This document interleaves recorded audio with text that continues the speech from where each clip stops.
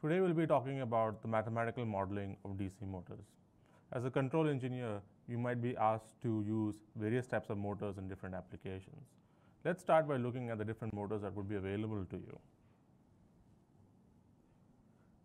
Here is a stepper motor that is used pretty commonly. These usually have multiple cables coming out of them, uh, usually around four or five plus. Uh, these are used for laser cutters, 3D printers, and various other devices such as those. They can also, uh, these are used in applications where we need a precise step motion uh, of the motor. You might also be familiar with this type of motors, which are which we call servo motors. These have three cables coming out of them. These are used for uh, small robotics applications and many other small systems where you don't need too much torque, but you need a precise angle uh, angle positioning for the, your device. This is a uh, DC motor. This is a typical workhorse DC motor where you want either high torque or high speed application depending on how you use it. A DC motor will have two wires coming out of this. Uh, this particular DC motor has a gearbox already attached to it and has attached to a shaft. We'll be looking at how to model motors such as these. A typical DC motor would consist of the following simple components. An inductor L and a resistance R that represent the inductance and the resistance of the coil in that motor. We would apply an input voltage Vin to this motor and the motor would generate some kind of a back EMF epsilon. The motors also would have a shaft which would have a moment of inertia J and it would rotate at a speed omega and would produce a torque tau.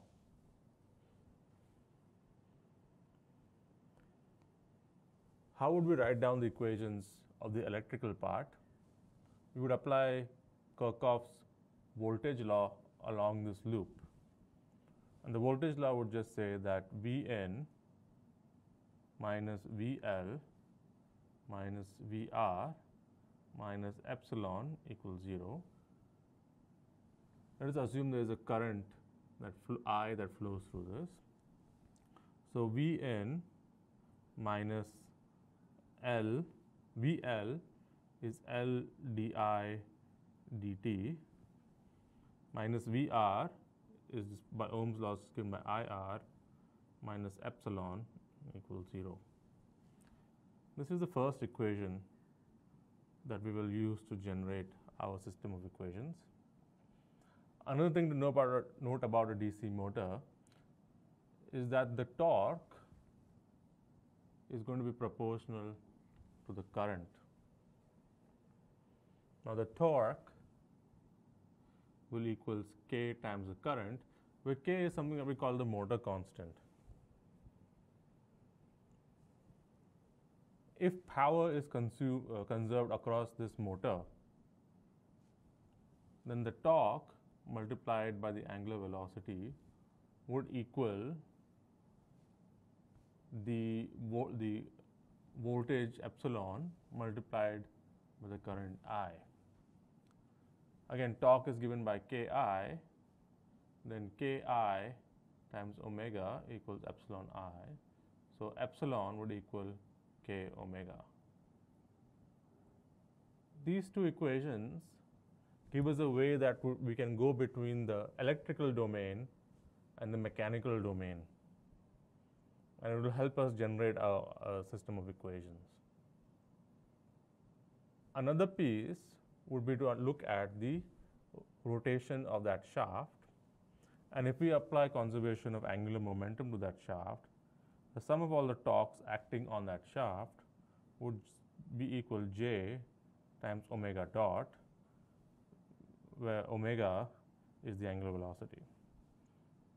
In this case, we'll assume that there are no frictional torques or any other torques acting on this. So just the torque from the motor would equals J times omega dot.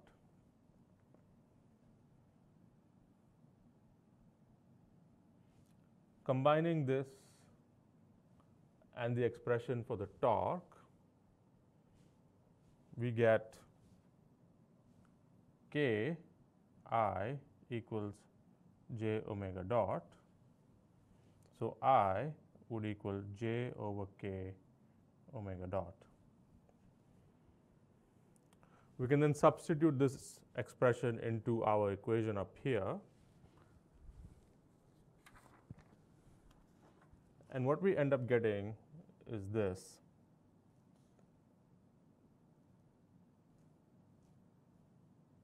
Lj over k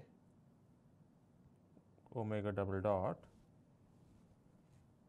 plus j r over k omega dot plus k omega equals V n. Here we see another simple second order ordinary differential equation with constant coefficients very similar to the ones we've already seen before. And again, we will be able to solve this in the same ways and using the same techniques we will learn in this class.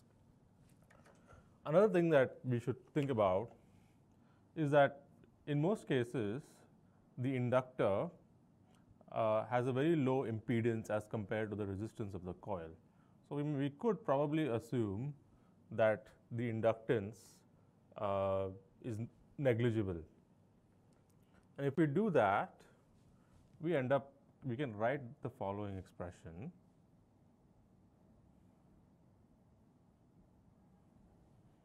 And then substituting for the current and the uh, uh, back EMF, we get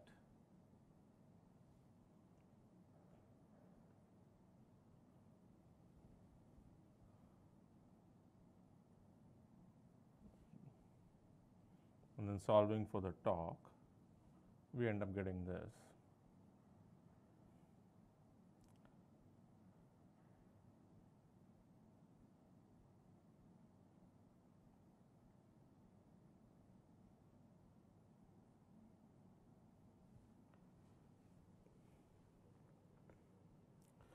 This is the expression that we can use to generate something called a torque speed curve.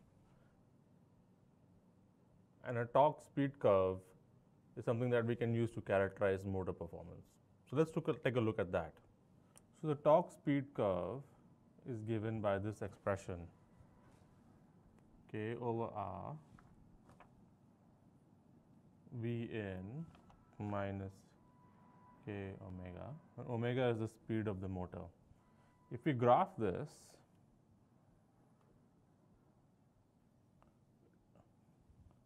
at a constant input voltage V n, let's call that V 1, we would get a straight line with a descending slope. The uh, x axis would be the speed and the y axis would be the torque. When the speed is 0, what we call this the stall torque. And when, when we have no load or no torque acting on this motor, we have the uh, no load speed, which we will call omega and L. Of course, at a different voltage, this graph would look a little bit different. It would still have the same slope,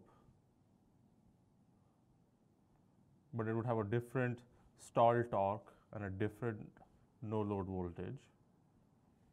Another thing that a torque speed curve can help us with is the uh, like trying to understand the power consumed by a motor. If we are operating at a high torque but a low speed, the power would be given by the area under this curve, right? Or conversely, if we are operating at a low torque but high speed, the power would be given by the area under this curve. The areas are low compared uh, to the total power that we can get. However, the optimal power would be somewhere in between.